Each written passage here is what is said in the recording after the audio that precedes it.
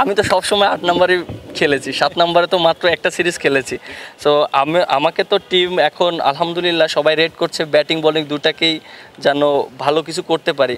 But আমি যদি সাত নম্বরে খেলি, তাহলে তো একটা এক্সট্রা বলার নিয়ে খেলানো লাগছে। তাহলে আমার দিক থেকেও কম, আমি বোলিং কম পাচ্ছি।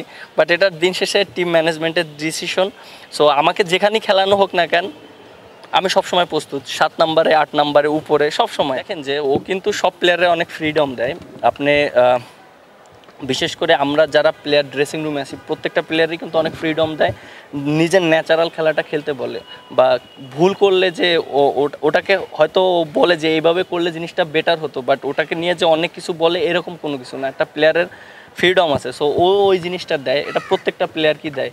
এর জন্য আমাদের প্লেয়ারদের একটা জিনিস কি আমরা সবসময় আমরা কনফিউজ থাকি না।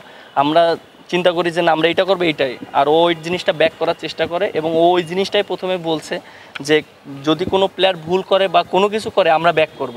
সো এটা দিন শেষে একটা প্লেয়ারের জন্য অনেক বড় একটা পাওয়া। যে কোচ যদি বলে যে, না, আমি খেলছি, আমি যদি একটা ভুল করি, আমাকে ব্যাক করবে। সো আমরা কনফিডেন্ট নিয়ে, আমরা সাহস নিয়ে আমরা ক্রিকেটটা খেলতে পারি। দেখেন যে কন্টিনিউস কিন্তু আমরা খুব ভালো ক্রিকেট খেলছি। সো এই সিরিজ যদি আমরা হেরেও যাই বা আমরা খারাপ খেলি, যেতেই পারে বাট এর মানে এ না যে আমরা খারাপ টিম হয়ে গেছি। সো বিগত দিনের যে পারফরমেন্স আমরা করেছি, আমরা যেভাবে ডমিনেট করে এসেছি, আপনি দেখেন যে ওয়ার্ল্ড কাপ শুরুর আগে যে আমাদের যে পয়েন্ট টেবিলটা আমরা ফার্স্ট থেকে শেষ পর্যন্ত যেভাবে শেষ করেছি, এটাই কিন্তু একটা আমাদের বার্তা দেয় যে না, আমরা ওয়ান ডে টিমে খুব ভালো ক্রিকেট খেলেছি এবং ওয়ার্ল্ড কাপে আমরা খুব ভালো পজিশনে যেতে পারব। দেখেন যে ওয়ার্ল্ড ক্রিকেটে দেখেন বড় বড় টিমগুলো কিন্তু তারা এখন কোয়ালিফাই খেলছে।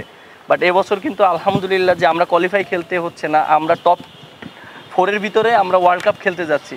সো এই জিনিসগুলো তো আমাদের টিমের জন্য, আমাদের দেশের জন্য অনেক ভালো না। সো আমি মনে করি যে সামনে হয়তো একটা দুইটা ম্যাচ খারাপ হতে পারে বা আমরা খারাপ খেলতে পারি। এটা নিয়ে ফোকাস না করে আমরা সামনে কীভাবে যেতে পারি ওয়ার্ল্ড কাপে ভালো করতে পারি, ছোট ছোট যে ল্যাকিংসগুলো আছে, সেগুলো কীভাবে ডেভেলপ করতে পারি, আমাদের ফোকাস এদিকেই থাকবে। বা জেতা হারাটা অবশ্যই দিন শেষে রেজাল্টটা অনেক ইম্পর্ট্যান্ট বাট রেজাল্টটা কীভাবে আমরা করব সেই জায়গাগুলো আমরা ফোকাসে আলটিমেটলি আপনি একটা জিনিস দেখেন যে পাঁচ সাতটা দশটা সিরিজ খেললে একটা সিরিজ তো আপনি হারতেই পারেন।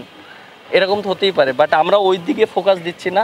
আমরা অবশ্যই ভালো ক্রিকেট খেলতে যাচ্ছি এবং শেষটা যেন আমরা ভালো করি। যেহেতু আফগানিস্তানের সাথে আমাদের ওয়ার্ল্ড কাপের আগে ওদের সাথে লাস্ট সিরিজ এরপরে এশিয়া কাপ দেন তারপরে হয়তো আর New Zealand series world cup so আর দুইটা সিরিজ আছে হয়তো।